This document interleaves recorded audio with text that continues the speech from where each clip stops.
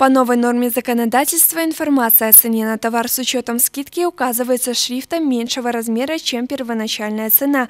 Если скидка предоставляется при выполнении каких-то условий, покупатели должны проинформировать о цене на товар без учета скидки с ее учетом, а также указать размер скидки и условия ее предоставления. Также не забывайте о другой норме закона о защите прав потребителей. Вам обязаны продать товар по той цене, которая указана на ценнике, за исключением случаев продажи продажи по более низкой цене. Если вдруг на кассе оказалось, что товар стоит дороже, покупатель вправе требовать соблюдения нормы законодательства.